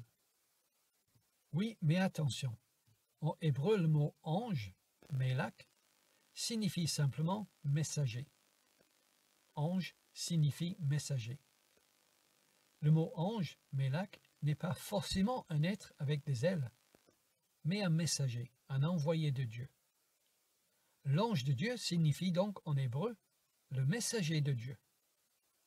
Il est utilisé dans la Bible pour parler d'hommes et d'êtres célestes. Mais le mot Melak, donc messager, est aussi utilisé pour désigner Dieu lui-même, comme ici. L'ange de Dieu ne dit pas Je viens de la part du Dieu de Bethel, ni je parle au nom du Dieu de Bethel. Non, l'ange de Dieu dit, je suis le Dieu de Bethel. Je suis le Dieu de Bethel. Un messager envoyé par Dieu n'oserait jamais dire je suis Dieu s'il était une créature. Ici donc dans la Torah, nous avons un messager qui vient de Dieu et qui s'identifie comme Dieu. Je suis le Dieu de Bethel. Or, s'il est un messager qui vient de Dieu, il n'est pas Dieu. Mais il dit Je suis le Dieu de Bethel. A-t-on une contradiction dans la Torah? Un messager, c'est le sens du mot hébreu melak, un messager qui vient de Dieu, mais qui dit être Dieu. Oui, si Dieu est une seule et unique personne, il y a une contradiction. Un messager ne peut pas venir de Dieu et être Dieu. Mais non, si ce Dieu est plusieurs personnes, il n'y a pas de contradiction. Une personne qui est Dieu envoie le messager et le messager est aussi lui-même Dieu. Deux personnes différentes qui sont Dieu. De plus, nous voyons dans Genèse 32 à partir du verset 24 qu'un homme est venu vers Jacob et a lutté avec lui. À la fin de la lutte, Jacob s'est rendu compte que cet homme n'était pas uniquement un homme, mais Dieu en forme humaine. C'est pourquoi il dit, verset 30, Jacob appela ce lieu du nom de Péniel, car, dit-il, j'ai vu Dieu face à face et mon âme a été sauvée. Ici, nous voyons dans la même histoire de Jacob, le père de la nation d'Israël, le Dieu de Jacob en forme humaine, comme à Sodome, comme dans le jardin d'Éden. Et c'est le prophète Osée qui nous boucle la boucle en nous apprenant que ces trois manifestations que Jacob a eues sont de la même personne. Osée 12, versets 3 et 4. Dans le sein maternel, Jacob saisit son frère par le talon et dans sa vigueur, il lutta avec Dieu. Il lutta avec l'ange, et il fut vainqueur. Il pleura et lui adressait des supplications. Jacob l'avait trouvé à Bethel, et c'est là que Dieu nous a parlé. L'Éternel est le Dieu des armées, son nom est l'Éternel. Ici, Osée identifie l'ange comme celui qui est apparu à Jacob à Bethel en Genèse 28. Osée dit, il lutta avec Dieu. Jacob l'avait trouvé à Bethel. Et Osée identifie l'ange comme celui qui a lutté avec Jacob à Péniel dans Genèse 32. Osée dit, il lutta avec Dieu, il lutta avec l'ange et il fut vainqueur. De plus, à moins que les unitariens veulent soutenir l'idée causée ici par de Dieu de différents, la seule conclusion possible est que le Dieu qu'Osée identifie comme l'ange qui est apparu à Bethel et à Péniel est le même Dieu qui est l'Éternel, le Dieu des armées. C'est le même Dieu. Car Jacob lutta avec Dieu, il lutta avec l'ange. Jacob, Jacob a lutté contre un seul homme. Donc l'homme avec qui Jacob lutta était l'ange, c'est-à-dire le messager de Dieu. Et ce messager de Dieu est aussi Dieu, car, osé dit, Jacob lutta avec Dieu. Et il fut vainqueur. Il pleura et lui adressa des supplications. Jacob adressa des supplications à ce même Dieu. Jacob l'avait trouvé à Bethel. Jacob trouva ce même Dieu à Bethel. Cet homme avec qui Jacob lutta est le Dieu de son songe, le Dieu de son rêve, le Dieu de Bethel qui, rappelons-nous, que nous avons gardé à notre esprit que cette personne est Yahvé. Et c'est là que Dieu nous a parlé. C'est le même Dieu qui a parlé à la nation d'Israël. Cet homme avec qui Jacob lutta est donc le Dieu d'Israël. L'Éternel est le Dieu des armées, son nom est l'Éternel. Ce même Dieu, cet homme avec qui Jacob lutta, et ce messager est le Dieu des armées, et son nom est l'Éternel, donc Yahvé. Résumons donc tout ce que nous apprenons sur le Dieu qui s'est révélé à Jacob, père de la nation d'Israël. Osée fait la synthèse entre, ces trois événements importants dans la vie de Jacob quand Jacob a rencontré son Dieu. Osée nous informe que ce Dieu est l'Éternel des armées. Et Osée nous informe que cet Éternel des armées est l'ange, le messager de Dieu. Et Osée nous informe que c'est ce même Éternel des armées qui a lutté avec Jacob en forme humaine. Donc, selon Osée, l'Éternel des armées est le messager de Dieu qui était en forme humaine sur la terre. Autrement dit, selon la Torah, le Dieu de Bethel est aussi le messager de Dieu et est aussi l'homme avec qui Jacob lutta. Ces trois personnes que Jacob a rencontrées à trois moments de sa vie sont en réalité la même personne. Et Osée appelle cette personne l'Éternel, le Dieu des armées. Waouh Que faut-il de plus comme preuve? Si Dieu, l'Éternel, le Dieu des armées, ne veut pas nous apprendre ici qu'il peut venir sur terre en forme humaine s'il veut, alors il est le pire communicant de toute l'histoire. Voilà donc les références qui soulignent la pluralité de personnes chez Dieu dans le livre de la Genèse.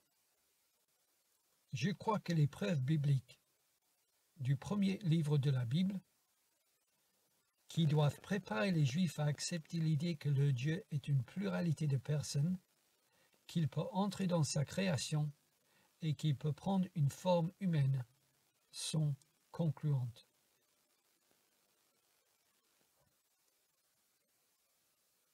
Les objections. Maintenant, voyons les principales objections à l'idée que la Trinité est biblique. 1. L'idée de la Trinité contredit le reste de la Bible. Cette idée d'un Dieu qui est trois personnes contredit notamment le schéma Israël de Deutéronome 6.4. Écoute Israël, l'Éternel, notre Dieu, est le seul éternel. Eh bien non, ce n'est pas le cas que l'idée de la Trinité contredit le chemin Israël. Deutéronome 6.4 contient quatre mots importants en hébreu. Premier mot, Yahvé. Deuxième mot, notre Dieu. Troisième mot, Yahvé. Et quatrième mot, Erad, c'est-à-dire un. Ce qui fait donc trois noms pour désigner le Dieu de la Bible, suivi du numéro 1 du nombre 1. C'est comme si je disais Écoute Israël, Dieu, Dieu, Dieu 1. Ou encore Écoute Israël, Père, Fils, Esprit un. Ce verset n'est donc pas une contradiction de la Trinité, bien au contraire, c'est une affirmation de la Trinité. 2. Cette idée contredit le sens du numéro 1 en hébreu. 1 en hébreu se dit Erad, justement. Et disent-ils, Erad est utilisé plus de 200 fois dans l'Ancien Testament, et aucun commentateur juif n'y voyait une quelconque unité plurielle. Bref, un signifie un et pas deux. Comme le souligne le pasteur Florent Varac dans son podcast, cette affirmation est clairement fausse. Dans Genèse 2, 24, nous lisons C'est pourquoi l'homme quittera son père et sa mère, et les deux deviendront une seule chair. Ici, le mot une dans une seule chair est le mot hébreu Echad. Mais Adam et Ève sont deux personnes bien différentes. Et ces deux personnes bien différentes deviennent Echad selon la Bible. Donc, dans l'idée de Echad ici, il y a une pluralité. Les deux personnes bien différentes qui sont Adam et. Donc ici, une seule chair ne signifie pas une seule personne, mais deux personnes. Bref, Echad ici comprend l'idée de deux personnes. Donc, l'objection qui dit que Erad est utilisé plus de 200 fois dans l'Ancien Testament et aucun commentateur juif n'y voyait une quelconque unité plurielle est réfutée par le deuxième chapitre de la Bible. La personne qui affirme cela a dû commencer sa lecture de la Bible au chapitre 3. D'après Genèse 2.24, il est clair que le mot hébreu pour un, Erad, peut signifier plus d'un. Un dans un sens et deux dans un autre sens. Deux personnes qui deviennent une chair. Une pluralité dans une unité. Erad comprend l'idée de deux personnes, ce qui correspond à une compréhension trinitaire du sens du mot Erad. 3. Les Juifs n'ont jamais cru à la Trinité. Si cette idée est tellement répandue et tellement évidente dans l'Ancien Testament, comme je suis en train de le prétendre, comment se fait-il que les Juifs n'ont jamais cru à la Trinité? Nous allons voir que cette objection est fausse. Mais avant cela, remarquons que c'est une objection qui prouve trop de choses.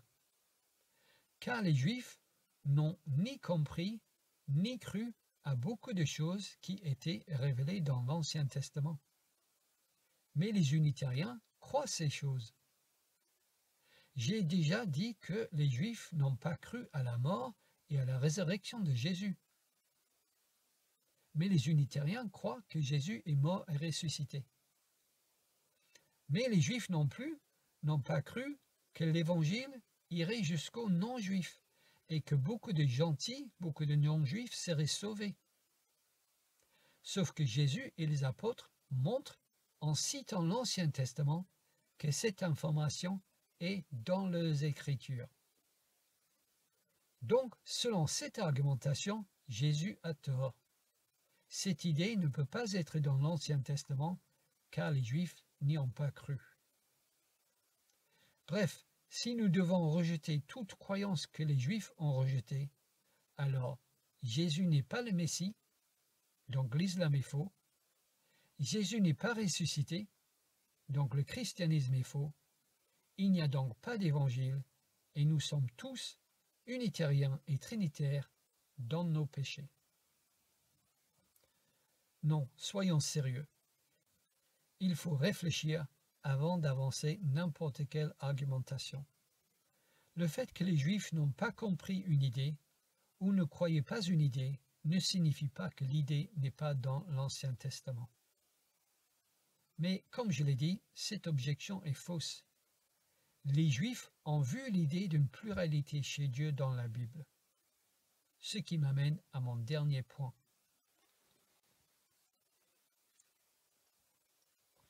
Les Targums juifs témoignent d'une pluralité chez Dieu. Les Targums juifs témoignent d'une pluralité chez Dieu. Bien qu'il soit vrai de dire que les Juifs n'ont jamais cru à la Trinité, il est faux de dire que les Juifs n'ont jamais cru à l'idée d'une pluralité chez Dieu. C'est ce que j'argumente dans cette vidéo. Non pas que la doctrine de la Trinité était révélée dans sa totalité, totalité dans l'Ancien Testament, mais que Dieu préparait son peuple pour cette révélation en son Fils Jésus-Christ, Fils de Dieu. Dieu voulait que son peuple comprenne que Dieu dans son être est pluriel. Dieu est plusieurs personnes et une de ces personnes peut venir sur terre en forme humaine. Donc, nous allons voir maintenant que les Targums juifs témoignent que l'idée d'une pluralité chez Dieu n'était pas inconnue des Juifs, bien au contraire. Le mot Targum signifie traduction. Un Targum est donc une traduction de la Bible hébraïque en araméen.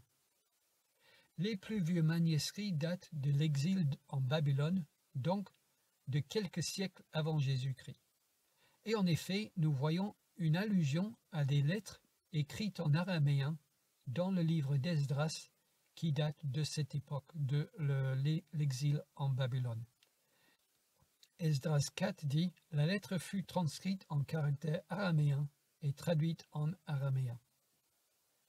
Ces traductions araméennes étaient utilisées lors de la lecture de la Torah à la synagogue à l'attention des fidèles pour lesquels l'hébreu n'était pas la langue courante? D'ailleurs, entre parenthèses, comme à l'époque de Jésus, à cause de l'exil, la plupart des Juifs parlaient l'araméen et pas l'hébreu. Et justement, certaines expressions araméennes ont été conservées dans les évangiles sans être traduites en grec, comme Eloi, Eloi, lama sabachthani. Mais bon, ce n'est pas le sujet de cette vidéo. Donc, pour les Targums, ce qui arrivait est que le rabbin se levait dans la synagogue et lisait le texte hébreu, la Bible hébreu. Car le rabbin devait connaître la langue hébreu. Et ensuite, il traduisait le passage lu en hébreu, il le traduisait en araméen pour le peuple qui ne comprenait pas l'hébreu. Souvent, il ajoutait à la lecture des paraphrases et des commentaires. En effet, son discours ressemblait plus à une prédication qu'à une simple lecture de la Bible. Et cette traduction de la Bible en araméen, avec ses paraphrases et avec ses commentaires, a été écrite et conservée. Et c'est ce que nous appelons les Targums. Et c'est justement ces traductions et ces commentaires sur les passages que nous avons étudiés plus haut qui nous intéressent. Je le dis tout de suite, je ne lis pas l'araméen antique. Alors comment est-ce que je sais ce que disent ces targums Eh bien parce que des juifs qui lisent l'araméen antique les ont traduits et ont publié leurs observations. Et ce sont ces personnes que je vais citer. Attention, ce sont des juifs orthodoxes ou des historiens du judaïsme. Ce ne sont en aucun cas des chrétiens que je vais citer. Pourquoi citer ces textes, ces targums Quelle est leur valeur? Elle est grande pour réfuter l'objection qui dit que les juifs n'ont jamais compris ou n'ont jamais cru que les passages de la Torah que j'ai cités enseignent que Dieu est plusieurs personnes. Pourquoi sont-ils utiles? Parce que ces textes ont été écrits par les Juifs et pour les Juifs. Il est clair que les chrétiens n'ont joué aucun rôle dans la rédaction de ces targums. Les chrétiens n'existaient même pas encore quand certains targums ont été écrits. Ils ont été écrits avant l'existence et l'essor du christianisme. Pourquoi ce fait est-il important? Parce que ces targums ne sont donc pas ouvertement antichrétiens et donc pas anti-trinitaires, ce qui les différencie des textes juifs des rabbins talmudiques. Car ce qu'il faut bien comprendre est que bien qu'il soit vrai que les textes juifs des rabbins talmudiques sont très hostiles à l'idée de la Trinité, Ces textes juifs des rabbins talmudiques antitrinitaires ont été écrits après la naissance du christianisme. Nous savons, grâce à la Bible et grâce aux documents historiques, que les rabbins talmudiques, depuis l'époque de l'Église primitive, étaient très anti-chrétiens. Et la raison que les rabbins talmudiques étaient hostiles aux chrétiens est parce qu'ils étaient surtout très hostiles à l'idée que Jésus soit le Fils de Dieu, et donc à l'idée de la Trinité chrétienne. C'est un fait. Et cette hostilité se manifeste dans les écrits des rabbins talmudiques. Mais l'erreur ou la ruse des antitrinitaires est de lire ces textes juifs des rabbins talmudiques et d'imposer leurs idées antitrinitaires de façon anachronique sur les juifs d'avant le christianisme, et ensuite d'affirmer que les juifs n'ont jamais cru une quelconque idée de pluralité chez Dieu. Car les écrits juifs qui datent d'avant le christianisme, les Targums pré-chrétiens donc, ne montrent pas cette hostilité ouverte aux idées de la Trinité, car ils n'étaient pas antichrétiens, car le christianisme n'existait pas encore. Ces targums sont donc très importants d'un point de vue historique pour réfuter l'objection des antitrinitaires, en prouvant que les juifs pré-chrétiens acceptaient volontiers l'idée que leurs écritures enseignent qu'il y a chez Dieu une pluralité de personnes. Nous avons déjà vu que le Targum dit de Jonathan enseigne que c'est la voix de la parole de Yahvé qu'Adam a entendu dans le jardin d'Éden. Une autre citation du Targum dit de Jonathan est intéressante aussi. Quand la Torah parle de l'esprit qui se mouvait au-dessus des eaux, dans Genèse 1-2, le Targum dit de Jonathan dit ceci, je cite, L'esprit des miséricordes, de devant la face de Yahvé, souffla sur la surface des eaux. Fin de citation. Cette traduction de Genèse 1.2 est intéressante car elle refute une des objections des antitrinitaires. Ces derniers disent que l'Esprit de Dieu n'est rien d'autre que le souffle de Dieu. L'Esprit de Dieu, disent-ils, n'est donc pas une personne, c'est son souffle, comme si Dieu avait une bouche et qu'il soufflait. Mais cette traduction dans le Targum montre que dans la pensée juive pré-chrétienne, l'esprit n'est pas simplement le souffle impersonnel de Dieu, car ici, c'est l'esprit lui-même qui souffle. L'esprit des miséricordes de devant la face de Yahvé souffla sur la surface des eaux. Je ne pense pas que les unitariens veulent argumenter qu'un souffle puisse souffler. Non, pour souffler et pour créer la vie, il faut être une personne divine. Attention, je ne suis pas en train de dire que ces traductions dans le Targum sont de bonnes traductions du texte inspiré en hébreu. Ne me faites pas dire ce que je ne dis pas. Ce n'est pas là mon objectif. Ce que j'ai dit tout simplement est que ces traductions de la Torah existent. Ce sont des traductions de la Torah pour être lues dans la synagogue. Elles ont été faites par des juifs pour des juifs. Et elles montrent ici que Contrairement à ce que les anti-trinitaires prétendent, dans la pensée juive pré-chrétienne, l'esprit n'est pas simplement le souffle impersonnel de Dieu, car dans ce Targum, c'est l'esprit lui-même qui souffle.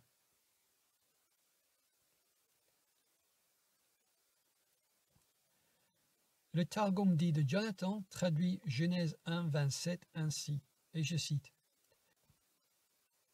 et la parole de l'Éternel créa l'homme à son image. Homme et femme, il les créa et les bénit au nom de sa parole. C'est la parole de l'Éternel, en, araméen le même rat de Yahvé, c'est la parole de l'Éternel qui créa l'homme à son image selon cet argument. Ensuite, nous lisons que Dieu les bénit au nom de sa parole. À la question donc, qui créa l'homme et la femme? ce passage répond Dieu et sa parole.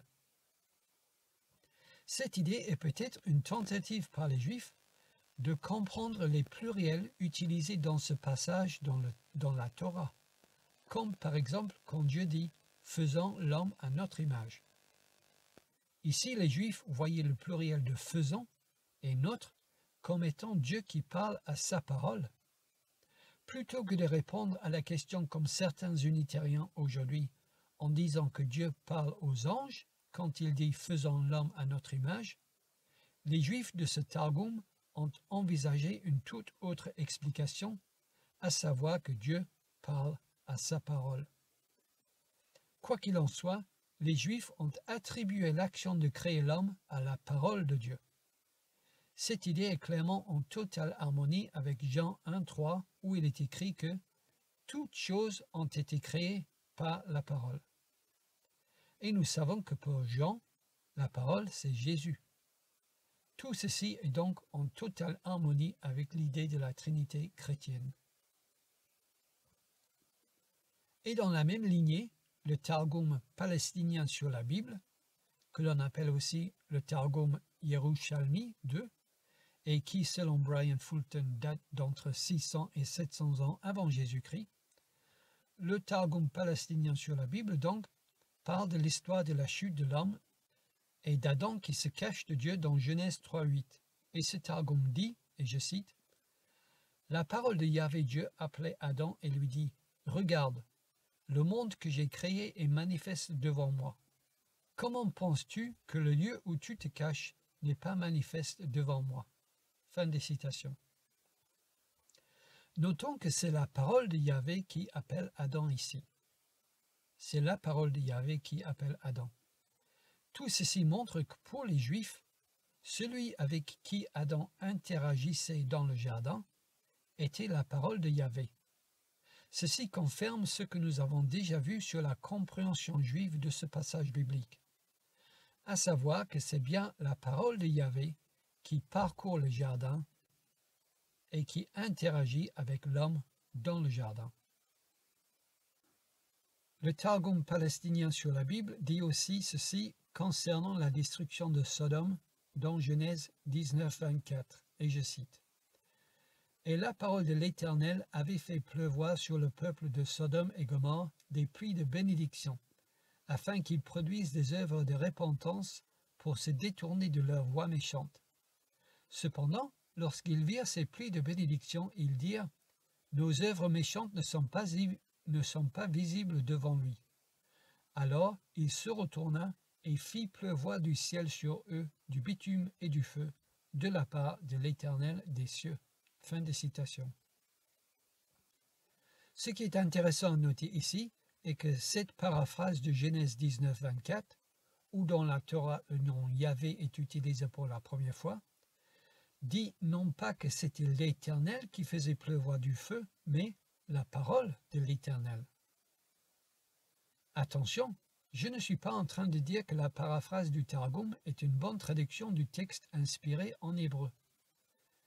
Ce que je dis tout simplement est que cette paraphrase du verset existe. C'est une paraphrase de la Torah pour être lue dans la synagogue. Et ces Juifs ont traduit le mot éternel dans ce verset de la Torah par parole de l'Éternel. Ce fait montre que pour les Juifs, l'expression parole de l'Éternel était une bonne traduction du nom éternel.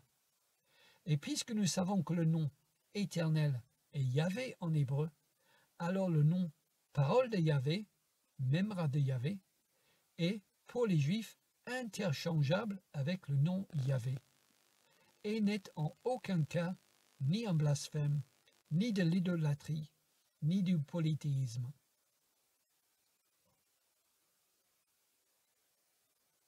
Nous lisons dans Targum Néophytie que dans l'histoire de Jacob, dans Genèse 28, à partir du verset 20, Jacob dit ceci, et je cite Si la parole de l'Éternel me soutiendra et me gardera dans la voie que je vais prendre, et me donnera du pain à manger et des vêtements pour m'habiller, pour que je revienne de nouveau à la maison de mon Père en paix, alors la parole de l'Éternel sera mon Dieu. Fin de citation. Ici, l'expression la parole de l'Éternel est la traduction de Dieu dans la Torah. Cette citation du Targum montre aussi clairement que dans la pensée juive pré-chrétienne, la parole de l'Éternel pouvait garder, pouvait nourrir et vêtir, et surtout que la parole de l'Éternel pouvait être considérée comme son Dieu par Jacob, sans que Jacob commette un blasphème. Un juif, un bon juif comme Jacob, pouvait considérer donc la parole de l'Éternel comme son Dieu, sans que ce juif commette un blasphème.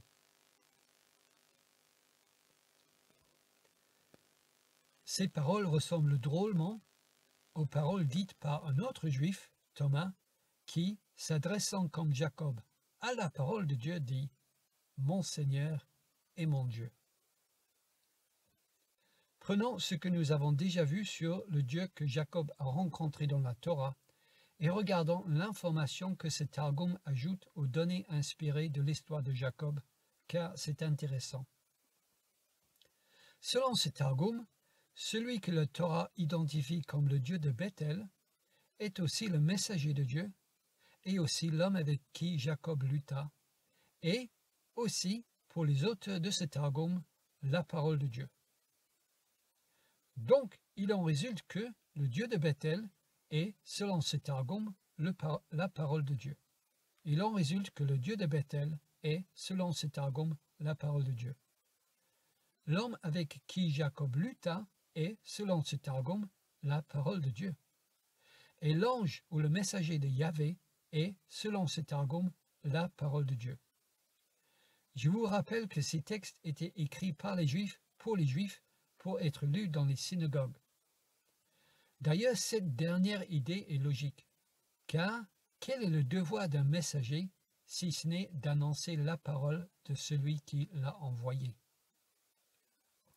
et l'idée que la parole de Dieu, qui est sur terre en forme humaine, est en harmonie parfaite avec cette idée-ci.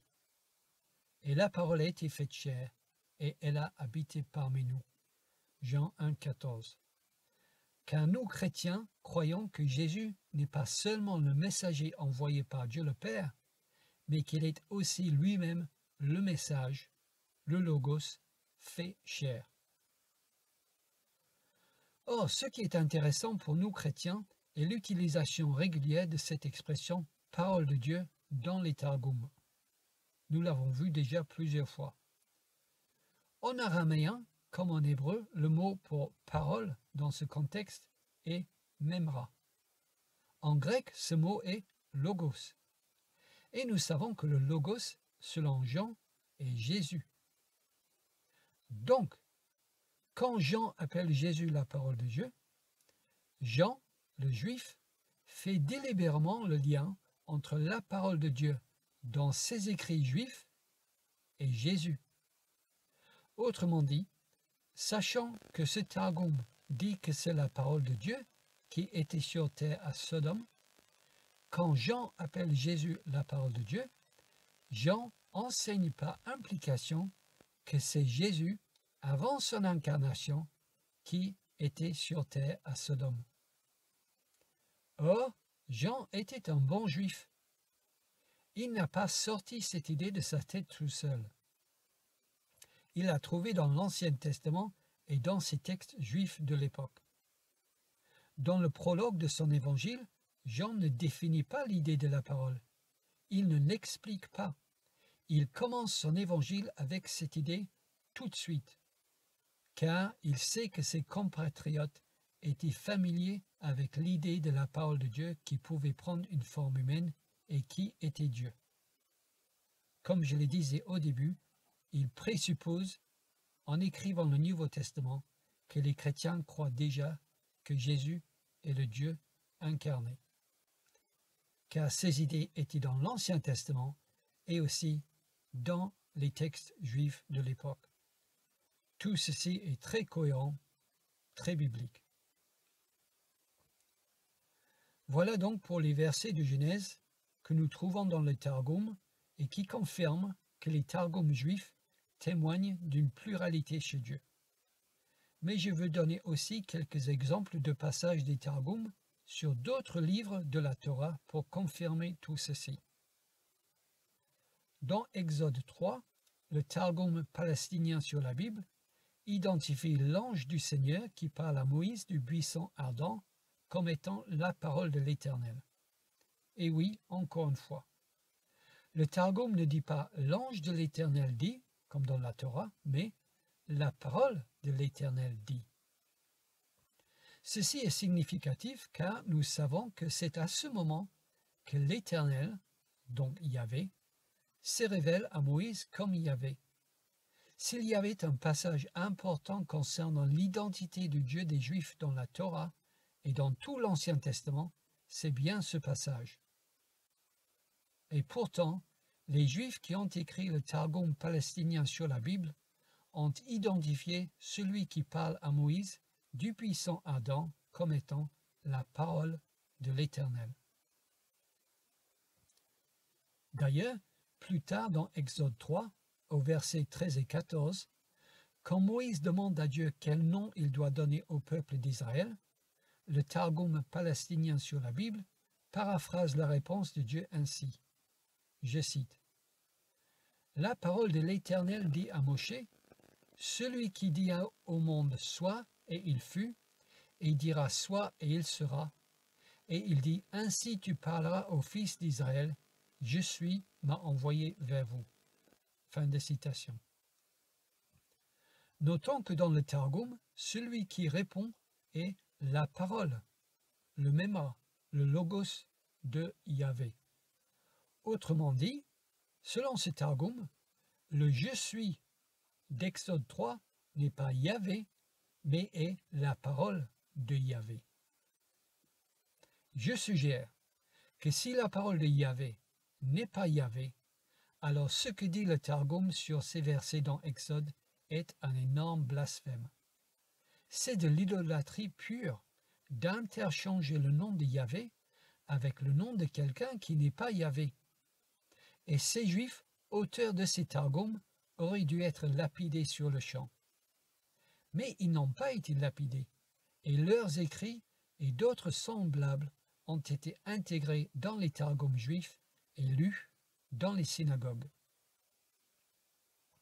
Bref, il y avait de bons juifs qui connaissaient leurs écritures et qui prêchaient dans les synagogues, qui croyaient que la parole de Yahvé était aussi le Je suis d'Exode 3. Si cette idée-là n'est pas un début de l'idée d'une Trinité, je ne sais pas ce que c'est. Donc, quand les unitariens protestent et disent que les Juifs n'ont jamais cru à la Trinité, que si cette idée est tellement répandue et tellement évidente dans l'Ancien Testament, comme je suis en train de le prétendre, comment se fait-il que les Juifs n'ont jamais cru à la Trinité? Cette objection est fausse. Il est clair que dans les écrits juifs, il y a une pluralité chez Dieu. Il est évident que pour les Juifs, leur Dieu est plusieurs personnes. C'est sans doute pour cette raison et à cause de tous ces exemples dans les Targums, où la parole de Yahvé est utilisée de façon interchangeable avec le Yahvé de la Torah, tout en étant considéré comme séparé de Yahvé. Pour toutes ces raisons que la doctrine des deux pouvoirs au ciel apparaît dans le judaïsme pré-chrétien. Cette doctrine, la doctrine des deux pouvoirs au ciel, postule un deuxième être au ciel qui était l'assistant de Yahvé, ou son vice-roi. Cet assistant avait des attributs qui étaient réservés à Yahvé seul. Il avait les mêmes attributs que Yahvé. Selon Brian Fulton, la doctrine des deux pouvoirs complémentaires au ciel est référencée dans les textes rabbiniques de la période tanatique entre 300 et 200 ans avant Jésus-Christ. Cette croyance était une tentative par certains juifs d'essayer de réconcilier les passages bibliques qui parlent d'un seul Dieu et les autres passages que nous avons vus qui parlent de ce Dieu avec un langage pluriel ou encore qui parlent de deux Yahvé différents dans le texte. Mais là, un unitarien me dira que la doctrine des deux pouvoirs au ciel est considérée comme une hérésie dans le judaïsme. La doctrine des deux pouvoirs au ciel est considérée comme une hérésie dans le judaïsme. Encore une fois, je dois dire que les unitariens sont coupables d'avoir une lecture anachronique de l'histoire. Car la doctrine des deux pouvoirs au ciel n'était pas considérée comme hérétique avant l'apparition du christianisme, pas avant le premier siècle avant Jésus-Christ. Certes, je ne dis pas que la doctrine des deux pouvoirs au ciel était crue par tous les juifs, mais je dis qu'elle était considérée comme une doctrine orthodoxe. Ce n'est que plus tard qu'elle était jugée hérétique, car les juifs n'appréciaient pas la façon dont certains chrétiens utilisaient cette doctrine des deux pouvoirs au ciel pour prouver que la divinité de Jésus était déjà dans les Écritures et dans les traditions juives. Comme le dit Daniel Boyerin, un juif orthodoxe et historien du judaïsme, dans son livre L'Évangile du Memra, le binatérisme juif et le prologue de Jean, et je cite Bien que la théologie rabbinique officielle étouffait tout discours sur le Memra et le Logos en le désignant comme l'hérésie des deux pouvoirs au ciel, auparavant, parmi les rabbins et leurs contemporains, il y avait une multitude de juifs en Palestine et dans la diaspora qui tenaient à cette version de la théologie monothéiste. Fin de citation. Dans son livre sur les deux pouvoirs au ciel, l'historien du judaïsme Alain Segal, lui-même juif, argumente que l'idée des deux pouvoirs était jugée hérétique dans le judaïsme uniquement au deuxième siècle après Jésus-Christ. Il a soigneusement retracé les racines de cette idée des deux pouvoirs dans la tradition juive jusqu'à l'époque du deuxième temple. Il a établi que les sources de cette idée se trouvent dans la Bible hébreu, notamment dans Daniel 7, 9, Exode chapitre 23, versets 20 à 23 et Exode 15, 3 et que les sources de cette idée ne se trouvaient pas dans les cultures païennes contemporaines. Il a écarté le dualisme perse comme explication pour l'origine de cette idée de deux pouvoirs au ciel, car dans le dualisme perse, un des pouvoirs au ciel est le pouvoir du mal, ce qui n'a rien à voir avec l'idée de pouvoir complémentaire comme un éternel sur terre qui coopère dans un seul et même objectif avec un éternel au ciel. Sa conclusion est que la doctrine des deux pouvoirs au ciel trouve sa source dans les Écritures et il cite aussi les passages de la Torah que j'ai cités plus haut. Segal dit, et je cite, L'Israélite primitif connaissait deux Yahvé, un invisible, un esprit, et l'autre visible, souvent en forme humaine. Les deux Yahvé paraissaient parfois ensemble dans le texte, mais distincts. Pour les Juifs de cette époque, il n'y avait pas le sentiment de violer le monothéisme, car l'un et l'autre des pouvoirs étaient Yahvé. Fin des citations. Ce qui est intéressant à noter aussi est que Segal documente que pendant cette période, les théologiens et les scribes juifs spéculaient sur l'identité de ce deuxième Yahvé. Qui était-il? Les pronostics allaient d'un humain divinisé jusqu'à un ange exalté. Ces pronostics n'étaient pas considérés comme hérétiques dans le judaïsme à cette époque pré-chrétienne. Par contre, tout ceci a radicalement changé quand certains juifs, disciples de Jésus, commençaient à faire le reprochement entre ces traditions juives et la personne de Jésus. Ceci explique pourquoi ces premiers juifs convertis à Jésus pouvaient adorer Yahvé aux cieux et aussi adorer Jésus, cet homme sur terre, tout en refusant d'adorer tout autre Dieu. Comme le fait remarquer Segal, la réponse du judaïsme à cette nouvelle secte chrétienne était de déclarer cette idée des deux pouvoirs au ciel une hérésie et ceux qui la croyaient des hérétiques. Cependant, avant l'essor du christianisme, ce n'était absolument pas le cas. Nous voyons donc que l'objection des antitrinitaires, que les Juifs n'ont jamais cru à la Trinité n'est pas vrai. Bien qu'il soit vrai que les écrits juifs montrent une hostilité ouverte contre l'idée de la Trinité, ce fait date d'après l'essor du christianisme et avait comme objectif de nier la divinité de Jésus-Christ. Cependant, il est faux de dire qu'avant cette époque, les écrits juifs montrent une hostilité à l'idée qu'il y a chez Yahvé une pluralité. Au contraire, les Targums juifs et la doctrine des deux pouvoirs au ciel montrent que l'idée d'une pluralité chez Yahvé n'était en aucun cas ni une idée inconnue, ni une hérésie chez les Juifs. Donc, quand les unitariens disent que les Juifs n'ont jamais cru à l'idée d'une pluralité chez Dieu, et encore moins à l'idée de la Trinité, ce qu'ils veulent vraiment dire est que les Juifs talmudiques, anti-chrétiens, donc anti-trinitaires, n'y ont jamais cru. J'ai montré ici qu'ils ne parlent pas des Juifs pré-chrétiens mais parce que les unitariens sont d'accord avec les juifs talmudiques antitrinitaires, ils prennent leurs idées et les imposent sur le texte de l'Ancien Testament.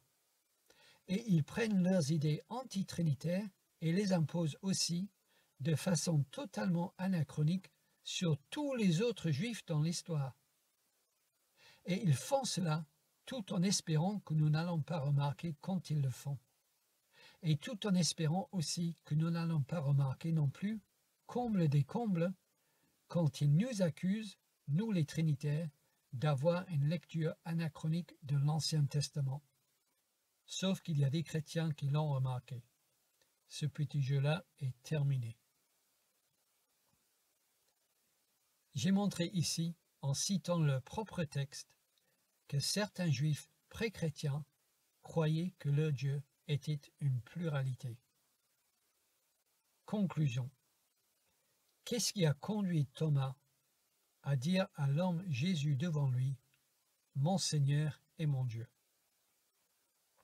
Et comment se fait-il que les autres disciples qui l'ont entendu ne l'ont pas lapidé sur le champ pour son idolâtrie? Comment Jean pouvait-il écrire? Au commencement était la parole, et la parole était avec Dieu, et la parole était Dieu. Et dire que Jésus-Christ était cette parole faite chair, ce Dieu donc, sans être accusé par les autres chrétiens d'hérésie.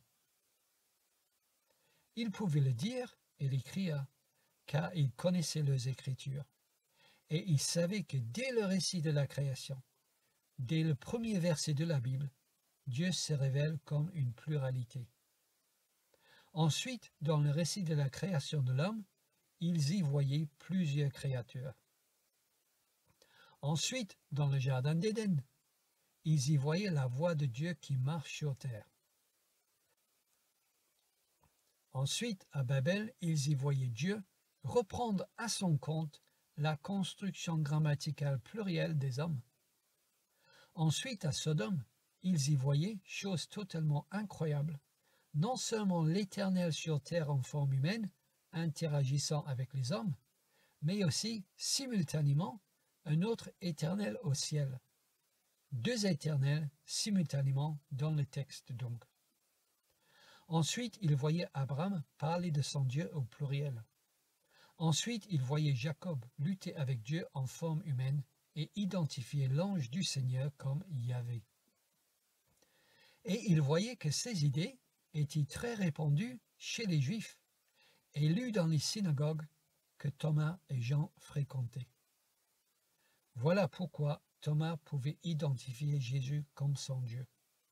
Voilà pourquoi Jean pouvait écrire que Jésus était Dieu. Parce que, dans le livre de la Genèse, le Dieu qui se révèle prend une forme humaine et marche sur terre quand ça lui plaît. Et parce que dans le livre de la Genèse, le Dieu qui se révèle se révèle comme une pluralité.